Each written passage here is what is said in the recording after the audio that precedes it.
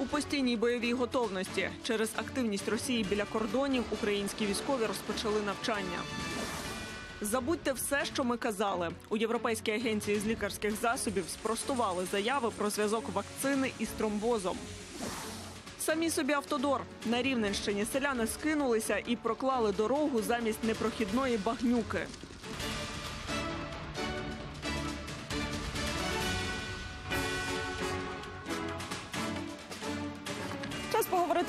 Найголовніші новини середи. Мене звати Ольга Сас. Добрий вечір.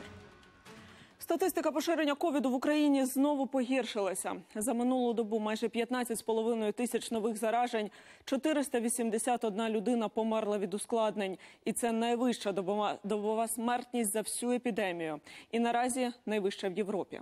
Ушпитали напередодні 5,5 тисяч хворих. Найбільше нових інфікованих у Києві, на Одещині, Львівщині та Харківщині. Від початку протиковідної вакцинації першу дозу сироватки отримали понад 320 тисяч українців. Сьогодні пріоритет вакцинації це медики первинної ланки, це працівники соціальної сфери і люди поважного віку 80+. Тому я звертаюся до дітей, до онуків, до родичів. Будь ласка, допоможіть вашим близьким е, записатися на вакцинацію.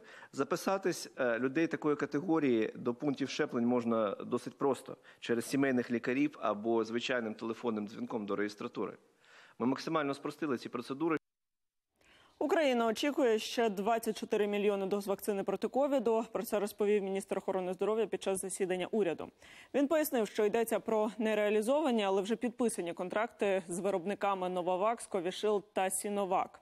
За словами Степанова, понад 10 мільйонів доз сироватки Pfizer надійде до України протягом року. В Україні почастішали випадки захворюваності на коронавірус серед дітей, і багато маленьких пацієнтів потрапляють до лікарень із ускладненнями. У Дніпрі на базі обласної дитячої лікарні навіть відкрили ковід-центр. За перші дні роботи половина відділення вже заповнена хворими. Більше про ситуацію Олена Мандалюк. Три тижні 11-річний Дмитро бореться з ковідом. Хлопець згадує, недуга застала його зненацька, однієї миті стало важко дихати. Задихався. Душа пройшов, вже задихався. До лікарні він потрапив із двостороннім запаленням легень. Весь час поруч була мама Олена. Жінка розповідає, спершу лікувалися амбулаторно, а коли стало гірше, Дмитра ушпиталили до шостої міської лікарні. І вже там поставили діагноз – ковід. Ураження легень 50%. Ходили к семейному врачу. Он сказал, что просто простуда.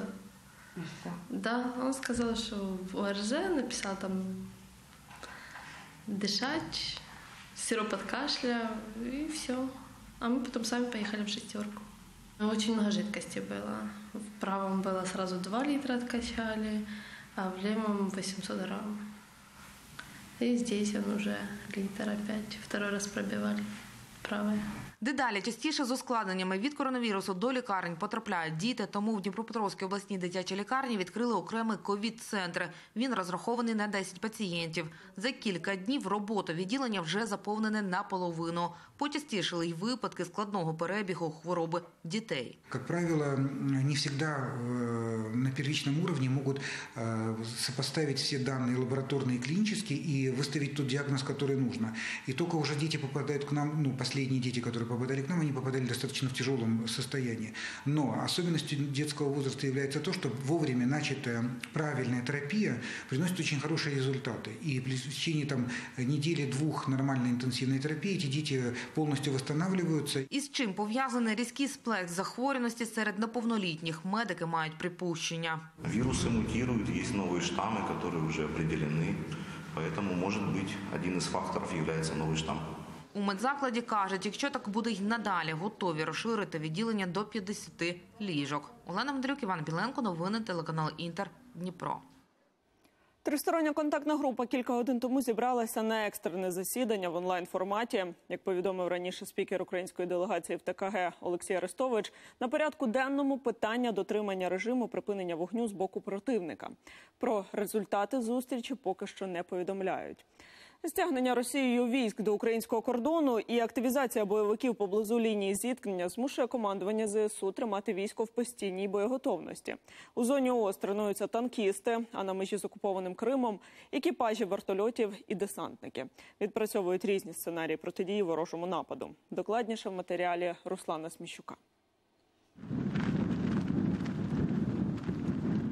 Ураганним вітром дістаємося до передових позицій посеред степу. Це Світлодарська дуга, виступ фронту, що вгризається в лінію оборони супротивника. Що 15-20 хвилин чутно гуркіт зброї вдалині. Періодично на горизонті щось вибухає, але по класифікації військових це ситуація спокійна. Вони на такі поодинокі простріли бойовиків навіть не реагують. Бувають постріли. А так нормально. Буває тако, десь стріляють, пролітає щось таке крупнокаліберне. Але взагалом нічого такого, як сказати, серйозного нічого вроді поки немає. Серйозно, це, наприклад, підготовка супротивника до загострення ситуації чи навіть маневрової війни. Саме цим лякають бойовики останнім часом на тлі повідомлень про пересування російської військової техніки біля українських кордонів. Проте деяку активність ворога тут усе ж таки фіксують. Неодноразово вечорами чути рух техніки пересування, і це важка бронетехніка, тому що неодноразово було чути танкові двигуни. Якісь дії є, чи це гра м'язами, чи це підготовка до якихось рішучих дій. В даний момент сказати не можемо. Ну, ми готові. У таких умовах на сході за смугою відведення важкого озброєння українські танкісти відпрацьовують різноманітні сценарії відбиття ворожих нападів. Якщо ти добре знаєш противника, його тактичні дії, е, його легко знищувати.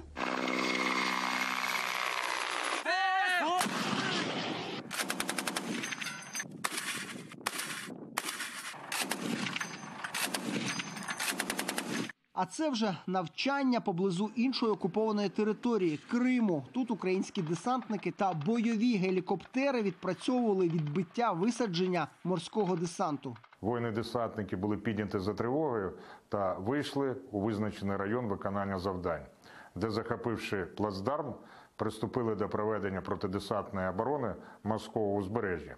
Їх дії прикривали підрозділи армійської авіації. Мета таких навчань скоротити час реагування на ворожі дії та підвищити ефективність підрозділів української армії. Руслан Сміщук, Сергій Мєсеєдов та Олег Зубов. Новини телеканал Інтер. Нагромадження російських військ на українському кордоні у фокусі світових змі. Як зазначає британська газета Guardian, дедалі більше аналітиків переконані, що це не просто демонстрація сили і не відкидають жодного варіанту подальшого розвитку подій.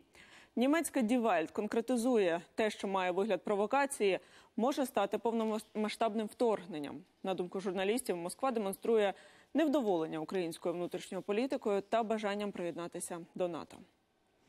А у США підтримують вступ України до НАТО. З такою заявою під час брифінгу виступила прес-секретар Білого Дому Джен Псакі. За її словами, офіційний Вашингтон усебічно заохочує євроатлантичні прагнення Києва, та остаточне рішення про приєднання України до організації залишається за альянсом. Нині Сполучені Штати і Україна продовжують обговорювати ескалацію конфлікту на сході. Додала речниця. Нагадаю, напередодні президент Володимир Зеленський у телефонній розмові з генсеком НАТО Єнсом Столтенбергом заявив, що вступ України до альянсу єдиний шлях завершення війни на Донбасі. Це багаторічне прагнення українців. Ми рішуче підтримуємо вступ держави до НАТО, бо це реальна можливість протидіяти дестабілізаційним зусиллям проти неї. Однак рішення ухвалюватиме безпосередньо альянс. Що буде з економікою? Зростання чи нова криза? Директор МВФ саме сьогодні має оголосити прогноз для окремих країн і для світу загалом. А в Штатах уже спрогнозували, коли країна оговтається від наслідків коронавірусу. Дмитро Онопченко про все докладно. Весняний саміт МВФ і Світового банку, навіть попри те, що цього року через коронавірус він проходить у віртуальному форматі. Як бачите, величезних делегацій країн-учасниць тут немає. Це завжди час, коли традиційно озвучують найважливіші економічні прогнози. Глобальний від директорки МВФ Крісталіни Георгієвої. Ми з вами почуємо вже за кілька годин. Ну а щодо Америки, то вже зараз з'явилася ясність. Новий міністр фінансів США Дженет Єлін обіцяє швидке відновлення американської економіки і називає термін 2022.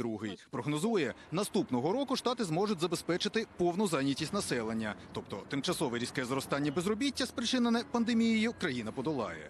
На сьогодні кількість тих, хто залишився без заробітку, 6%. Бізнес оживає. У березні робочих місць побільшало майже на мільйон, але цього року ще не варто чекати повернення до докризових показників.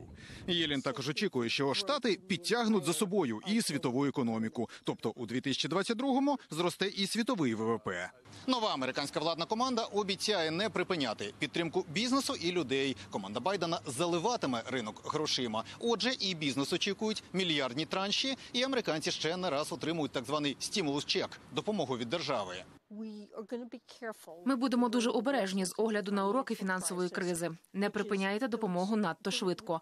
Ми мотивуватимемо всі країни, які мають таку можливість дотримуватися цієї політики, щоб підтримати глобальне зростання показників та досягти відновлення світової економіки. Ну а щодо світу, тут всі чекають сьогоднішнього прогнозу від директора розпорядника МВФ, який і лідерам країн прояснить, яким буде рік, і на який ринки миттєво відреагують. Із Вашингтона Дмитро Анопченко, Сергій Коваль, американське бюро телеканалу Інтер.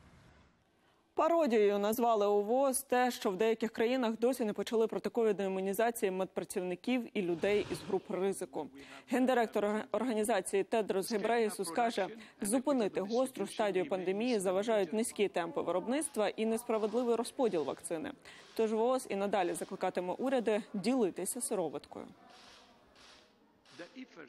Ми працюємо над тим, щоб вакцина у світі розподілялася рівномірно. Просимо уряди країн ділитися з нею, а також тестами й іншими необхідними препаратами. Також будемо шукати нові способи співпраці з виробниками сироватки. Російський спутник заборонили використовувати в Словаччині. Інституту з контролю за лікарськими засобами забракло інформації, щоб рекомендувати цей препарат. Крім того, там виявили, що закуплена попереднім урядом вакцина не ідентична тій, яку схвалив науковий журнал Ланцет. Нагадаю, саме через таємно придбану партію російського препарату в Словаччині виникла політична криза. Прем'єр пішов у відставку, повністю змінили уряд. Міністерство охорони здоров'я звернулося до ще однієї лабораторії, аби перевірити цю вакцину. У Європейській агенції з лікарських засобів спростували поширену в змі заяву про доведений зв'язок між вакциною AstraZeneca і виникненням тромбів. Напередодні світові мас-медіа цитували очільника відділу вакцинації цього регулятора Марко Кавалері, який в інтерв'ю італійській газеті заявив про очевидний зв'язок між препаратом і тромбозом. У відомстві наголосили, дослідження на цю тему ще тривають і днями обіцяють оприлюднити результати. І по і доки експерти вивчають цей зв'язок, вакцинацію дітей Астразенекою тимчасово зупинили у Великій Британії. Їх щеплювали, щоб перевірити ефективність сироватки проти коронавірусу. Чи зупинятимуть в Британії імунізацію дорослих і які ризики для тих, кому вже зробили щеплення, розповість Світлана Чернецька. Уже майже 32 мільйони британців отримали першу дозу вакцини проти коронавірусу. Більшість із них щеплювали саме AstraZeneca. Цю сироватку розробили місцеві науковці в Оксфорді, а виготовляють паралельно на двох місцевих заводах.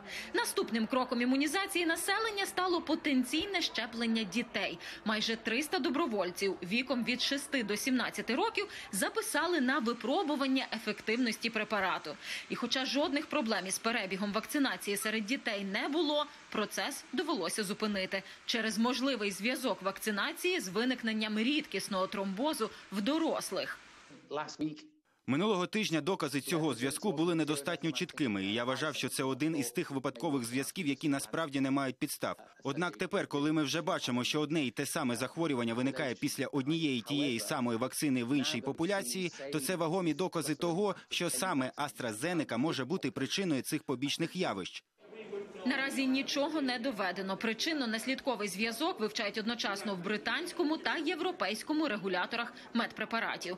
Водночас імунізація дорослого населення в країні триває за планом. А прем'єр закликає не панікувати. Сам він теж нещодавно вакцинувався першою дозою AstraZeneca. Найкраще зараз стежити за порадами незалежного регулятора щодо медпрепаратів. Саме для цього він і існує. І наразі агентство закликає продовжувати щеплення першою дозою, а потім і другою.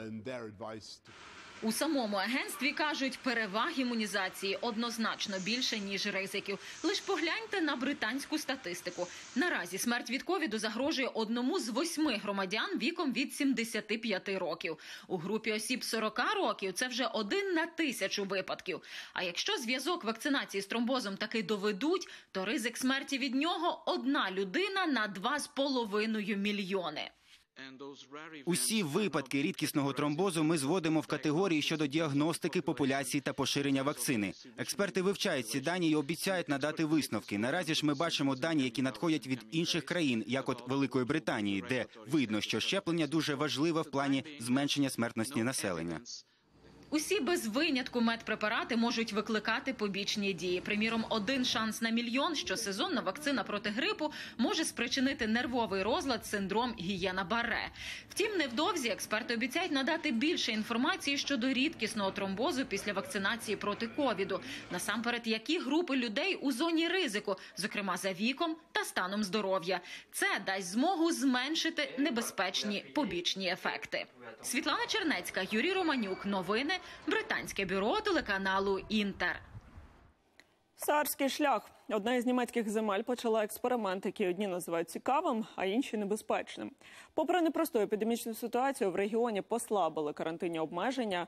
Що дозволили жителям Саару, і чи є в місцевої влади план на той випадок, якщо крива інфікувань стрибне вгору? Тетяна Лугунова розкаже. Зайняті столики на терасах кафе та ресторанів, відчинені спортивні студії, торгові центри, кінотеатри та галереї. Якщо більшість німців тільки мріє про таке послаблення карантинних обмежень, то жителі землі Саар уже насолоджуються свободою.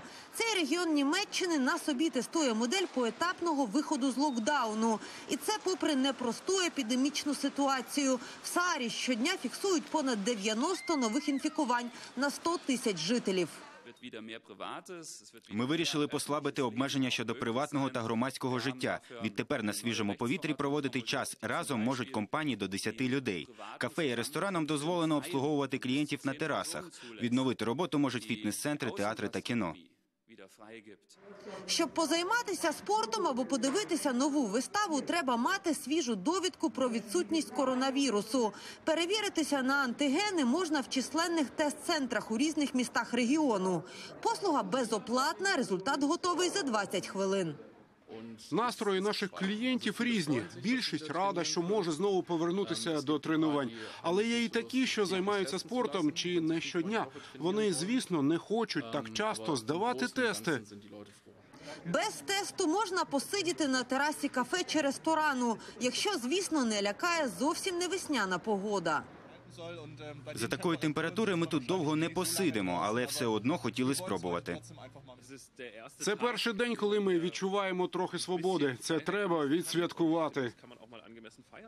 Утім, вихід з локдауну святкують не всі. Скептики побоюються, що через відмову від обмежень кількість нових інфікувань стрімко зросте.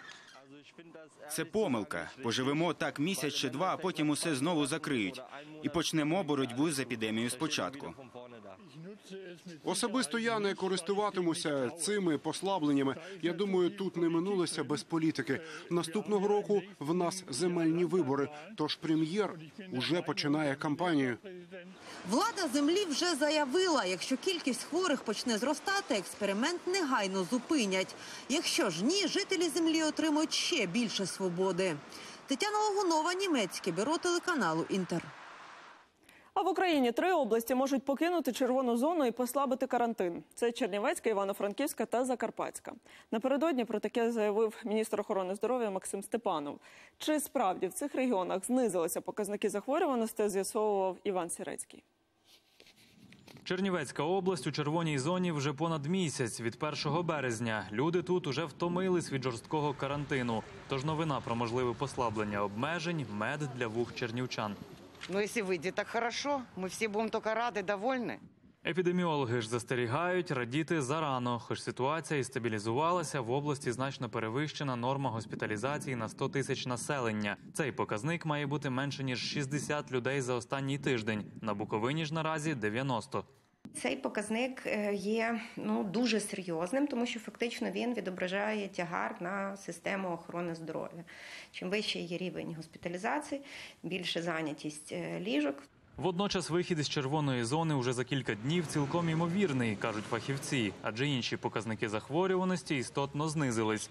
Якщо на початку березня за тиждень виявляли до 4 тисяч нових випадків, то нині удвічі менше. В облдержадміністрації кажуть, це завдяки переходу на дистанційне навчання та закриттю закладів харчування. Наші епідеміологи в епідрозслідуваннях е, дуже чітко визначають, що школи, святкування вони були основними такими е, заходами, які е, давали поштовх для швидкого поширення вірусу. Нині триває великий піст, тож на Буковині масові банкети не влаштовують. Та й самі буковинці переконують, стали відповідальнішими, бо бачать, що вірус уже значно агресивніший. Ми дотрималися всіх Так, карантинних так. правил, які були так. Ми менше, ну тобто, ми по можливості, коли була велика захворюваність, ми не виходили, тобто з дому, в сенсі, де в людні місця, е, в масках, все як має бути. Наразі область повернулась до тих показників захворюваності, які реєстрували всередині лютого. Однак стан більшості нових хворих тяжкий, та й рівень смертності стабільно високий. Це ті такі найобтяжливіші е, показники, і вони залишаються серйозними, тому жодної, е, жодних підстав до такого якогось розслаблення е, наразі немає. Остаточне рішення про перехід до помаранчевої зони та послаблення карантину мають ухвалити найближчим часом. Іван Сірецький, Ігор Ріга, новини телеканал Інтер, Чернівці.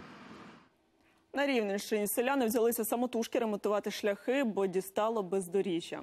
Зібрали майже мільйон гривень, закупили щебінь та засипали болото, яке неможливо було ні пройти, ні проїхати. Дорогу протестувала і наша кореспондентка Сніжана Сидорук. По нашій вулиці ось такі ями були не пройти, не проїхати. Багнюка по коліна машини просто грознуть. Ось такими донедавна непроїзними були чи не всі вулиці в селі Кідри. Від такого бездоріжжя селяни стомилися, великого будівництва не дочекалися, тож і затіяли ремонт самі. Щебень закатали грейдером, дорога стала проїзною. Анатолій Луковець за місцевого дорожника ділиться своїми технологіями. Все розрівняли, завезли піском своїми силами, своїм транспортом, привезли крупний щебень, просипали мелким.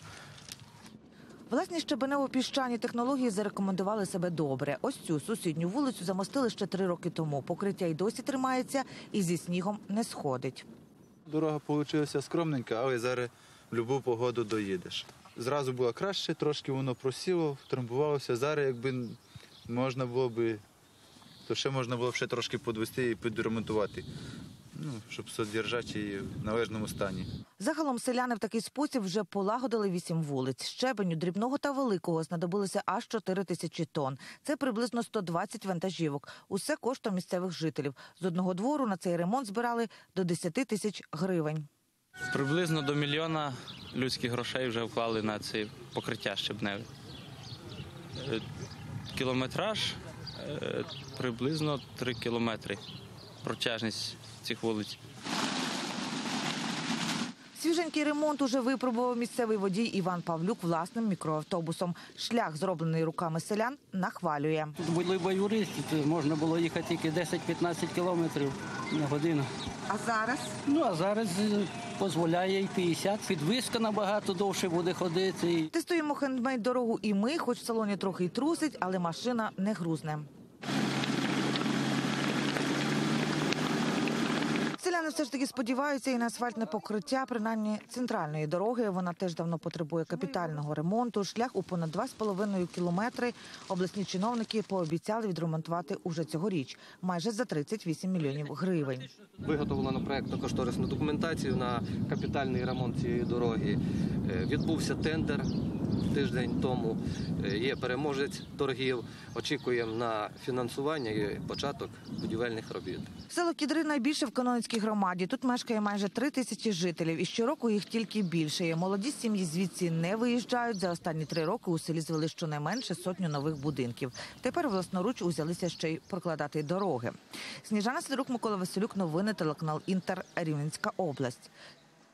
А у НАСА опублікували перші знімки гелікоптера Ingenuity з поверхні Марсу. Літальний пристрій у суботу відокремився від марсохода та успішно пережив свою першу самостійну ніч на холодній поверхні червоної планети. Марсохід Perseverance сів на Марс 18 лютого. Ця місія має на меті зібрати інформацію та зразки ґрунту для підготовки подальш- подальшого висадження людей на цій планеті. В Ісландії виникли вулканічні розломи. Довжина тріщин, що утворилася унаслідок виверження вулкана Фагра Дельсфіал біля Рейк'явіка, сягає двох сотень метрів. На схилах вогняної гори почали формуватися лавові поля. Місцева влада закрила доступ до небезпечної території та еваку- евакуювала туристів. Виверження почалося два тижні тому. До цього вулкан спав майже тисячу років. Інтерв'ю вийшло ні в року. Далі буде кіно. Меган Маркл і принц Гаррі знімуть документальний серіал. Його покаже Netflix. Проєкт розповідатиме про підготовку спортсменів до спортивних ігор нескорених, які відбудуться в Нідерландах 2022 року. Нагадаю, проведення цих міжнародних змагань для ветеранів ініціював сам принц Гаррі. Він виступить виконавчим продюсером серіалу Серце нескорених, а також з'являтиметься в кадрі. До слова, в змі досі коментують скандальне інтерв'ю подружжя Опрі Вінфрі. Так популярний британський телеведучий Пірс Морган нарахував у тій розмові аж 17 неточностей. каже, після цього втратив до пари довіру. І це була остання новина у випуску. Свіжу порцію інформації мої колеги підготують для вас на 20-ту. Я вам бажаю гарного вечора і до завтра.